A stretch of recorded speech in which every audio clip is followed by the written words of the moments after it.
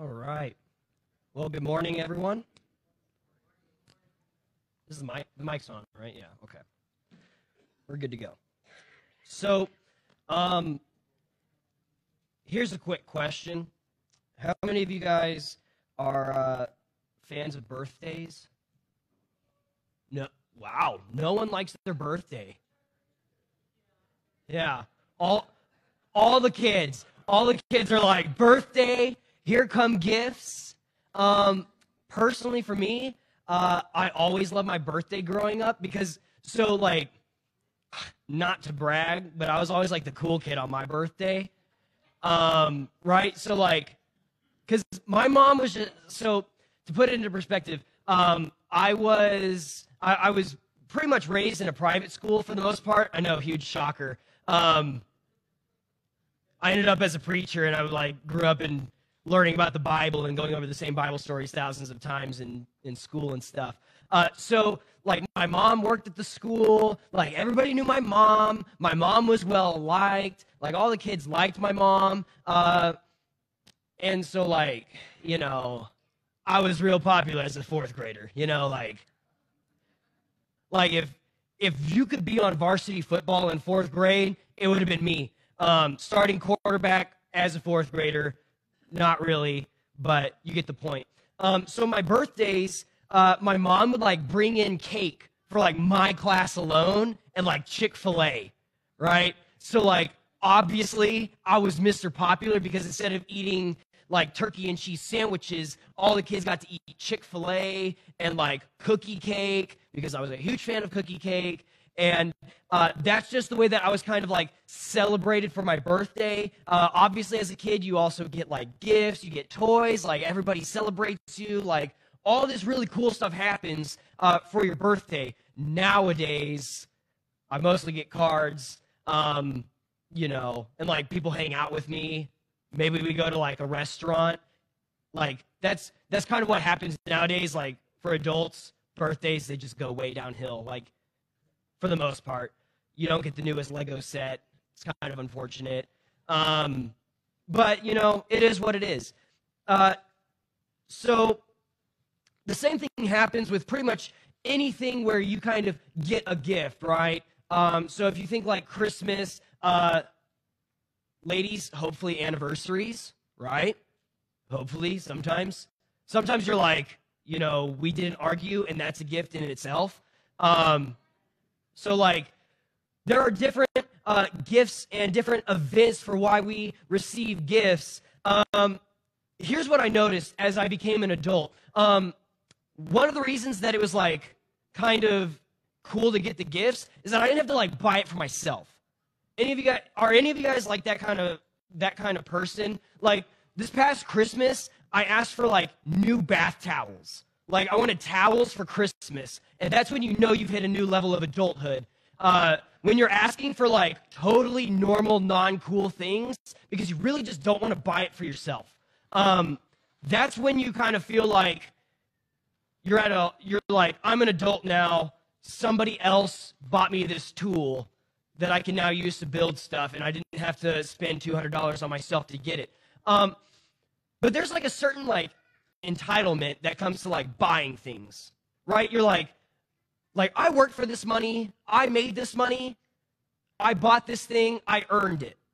So, because I always talk about dessert, um, apparently, so I, I, talk about dessert a lot. If you if you don't know that, um, so yes, I can always go to the rustic garden, and yes, I can always buy a dessert or two sometimes, not all the time, as it was clearly thrown out over this weekend. Somebody was like, "You bought two desserts the other day," and I was like, "Okay, like, let's let's back off a little bit."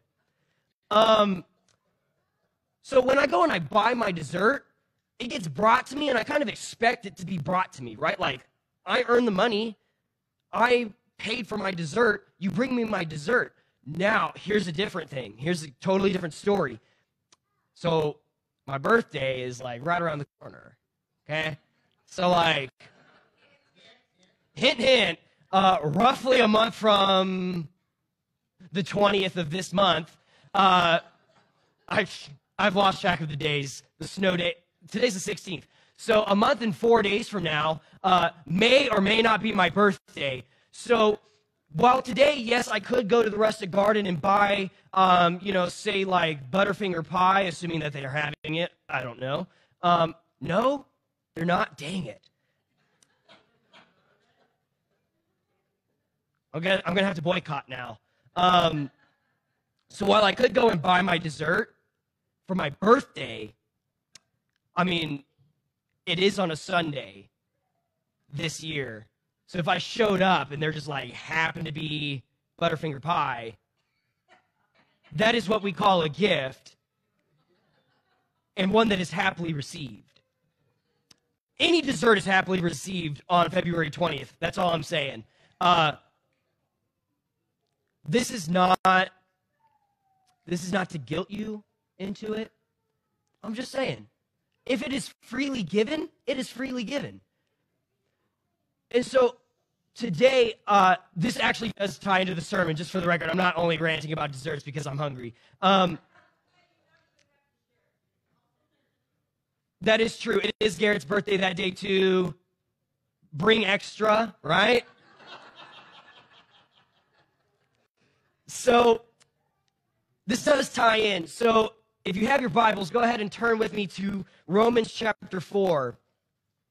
Uh, so, Romans chapter 4, uh, Paul continues his talk about justification, uh, salvation, how we are seen as righteous in the eyes of God. And what Paul is going to clearly lay out is that your justification, the way that we are seen as righteous, it is a gift freely given to us not because we have earned it, not because we have worked for it, not because we have paid for it, not because we have done anything in order to be entitled to it, but simply because God, in His goodness, decided to give it to us freely.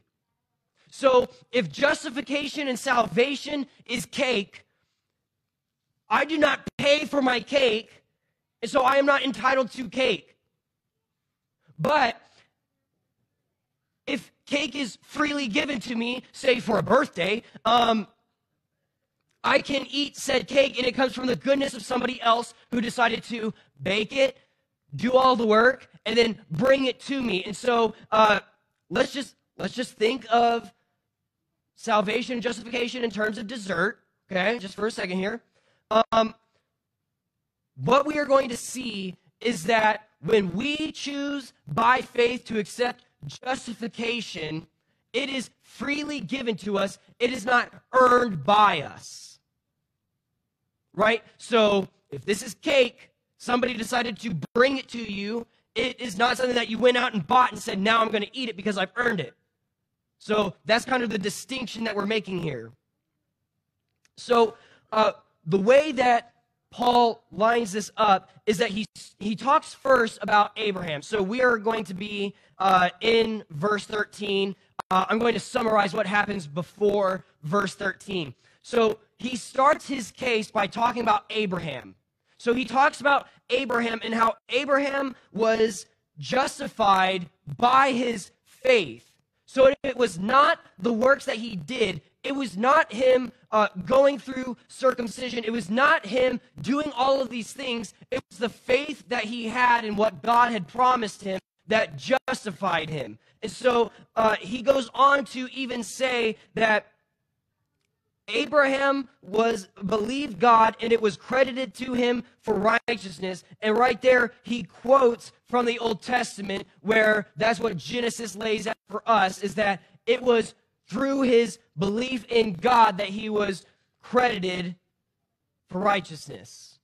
That is what the credit was. It was not the circumcision. It was not all of the things that he did. It was not the way he followed the law. That was not what was credited to, credited to him as righteousness. And he moves on uh, to even King David. So Paul has established this with Abraham. Now he is establishing this with David. And so he talks about how David reports that it blessed are those whose lawless acts are forgiven and whose sins are covered. Blessed is the person the Lord will never charge with sin. So this is a blessing, it is a gift. So Paul here is saying even David recognized that people are credited righteous because of what God chooses to do.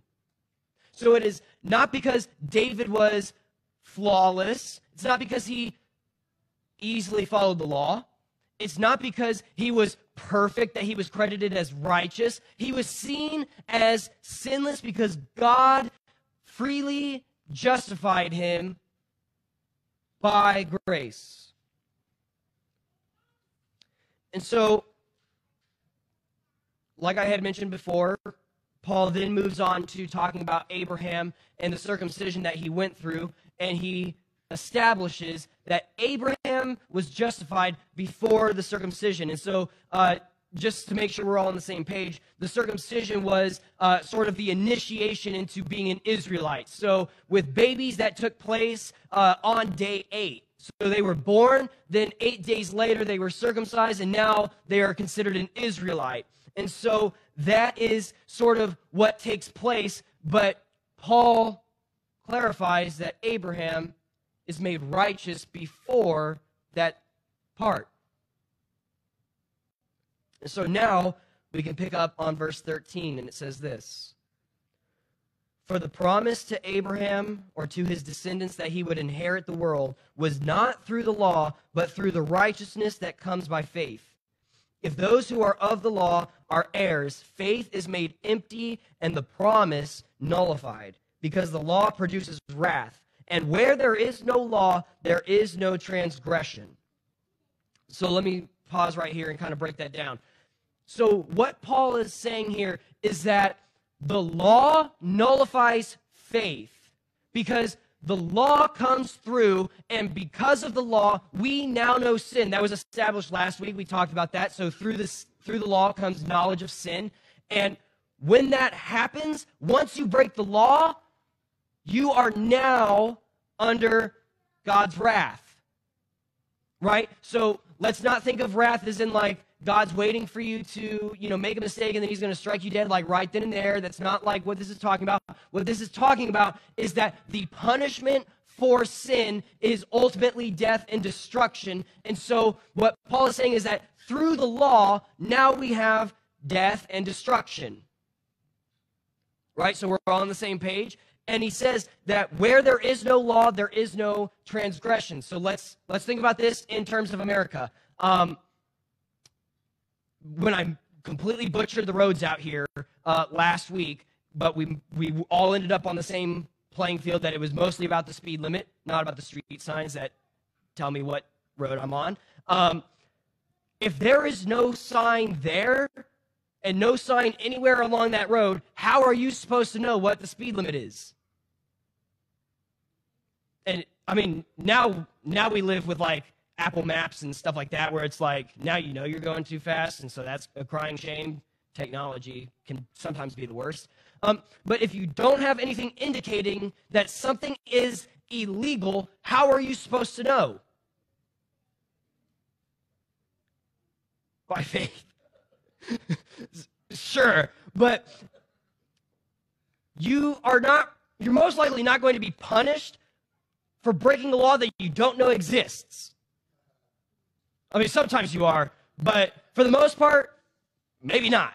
Um, there, that's why there are signs posted no trespassing. That's why there are signs posted no soliciting. It's so that you know what is wrong and you know what is right and you know what you can do and what you can't do. And so now that we know what we can't do, if you choose to do it anyway, you are now subject to the judgment of the United States government. Right? So, like, most people are aware there's a law that says you can't kill people. So, if you go and you kill someone, you can go to prison for that. Like, you can get in legal trouble for killing someone because there's a law that says don't do it. Right? So, like, what Paul is kind of saying here is that We now have the law, and those who are under the law are now under condemnation. But picking up uh, verse 16, it says this This is why the promise is by faith, so that it may be according to grace to guarantee it to all the descendants, not only to those who are of the law, but also to those who are of Abraham's faith. He is the father of us all, as it is written, I have made you the father of many nations. He is our Father in God's sight, in whom Abraham believed. The God who gives life to the dead and calls things into existence that do not exist. He believed, hoping against hope, so that he became the father of many nations, according to what had been spoken. So will your descendants be. He did not weaken in faith when he considered his own body to be already dead, since he was about a hundred years old and also the deadness of Sarah's womb. He did not waver in unbelief at God's promise, but was strengthened in his faith and gave glory to God because he was fully convinced that what God had promised, he was also able to do. Therefore, it was credited to him for righteousness. Now, it was credited to him, uh, not what was not written for Abraham alone, but also for us. It will be credited to, credited to us who believe in him who raised Jesus, our Lord, from the dead. He was delivered up for our trespasses and raised for our justification. So there's a lot right there. And it all stems down to this. Just as Abraham was justified by his faith, we too can be justified by our faith. So, just as it was credited to Abraham as righteousness, not because of the circumcision that he went through, not because, and we're going to, this might be off putting to some people, not because he was even willing to sacrifice Isaac later, that was not what made him righteous in God's sight. It was not his willingness to follow through with that. What made him righteous was that God promised something, and Abraham chose to believe that promise despite all of the things that were against him. So, despite the fact that he was older and not really at the, the peak of childbearing, and despite the fact that Sarah was not at the peak of childbearing, they were still able to conceive because Abraham believed that what God promised, God was also able to do. So, Abraham's not even justified by God producing the child. So, it's not like there's this huge fulfillment that has to take place for him to be initially justified by God. It takes place at the faith and belief that God is going to follow through on what he says. And so Paul's final statement is that for us, we are justified by belief that God promised to save us through the sacrifice of his son, and he has followed through. And it is our belief in him promising it and him following through that we are justified. So it is not about how much good we do. It is not about how hard we work. It is not about whether or not we choose to follow the government's laws. It is not about whether or not we follow the Old Testament laws. That is not what makes us righteous in the sight of God. What makes us righteous in the sight of God is our belief and our faith in Jesus Christ, who came to die on the earth in order that we may be justified. Now, you know that that word justified is a pretty important word if that's the one word that Paul chooses to end on. That is what Paul is focusing on from Romans chapter 3 to Romans chapter 4. And again, uh, as we stated last, uh, last week, Paul is kind of highly talking to the Jewish Christians here. And what he's trying to establish is that everybody is considered a son of Abraham. We are all heirs and descendants of him through our faith. And so we can be justified through our faith in Christ. And so the, the, these passages are difficult for us to like have these key takeaways, right? Like um, a lot of people they they like to like walk away from a sermon like what do I do now that I've learned? Like what does this Bible passage say that I need to do? Some passages are meant to give hope. Like as we wrap up this sermon, this sermon is a message of hope.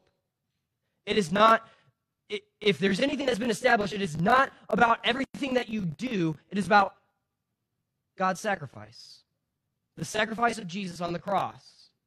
And so it is a message of hope that is given to all people of all nations, of all times.